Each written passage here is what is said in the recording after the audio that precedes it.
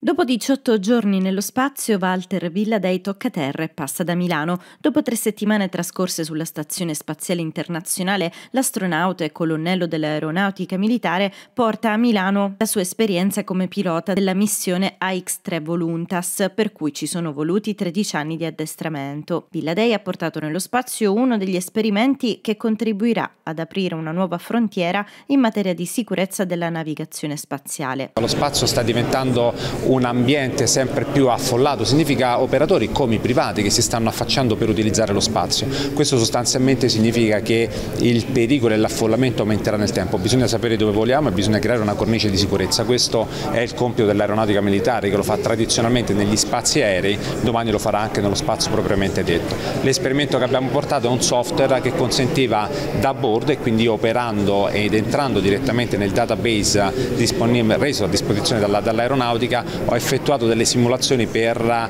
vedere qual era il comportamento dell'avvicinamento di un detrito alla stazione ed eventualmente misurare questo fattore di rischio. Attualmente tutto questo viene fatto a terra quindi la stazione è monitorata, osservata e protetta da terra. Un giorno e un domani quando voleremo più lontano queste capacità dovranno essere anche a bordo delle future stazioni spaziali o delle astronavi e questa è una capacità interessante che va nell'ottica appunto di crescere come capacità di protezione dello spazio. L'astronauta è stato accolto a Milano dal comando della prima regione Regione Aerea di Milano, che negli anni si sta sempre più specializzando nella medicina aerospaziale. Ci stiamo concentrando su, su scienze dell'epigenetica e traslazionali.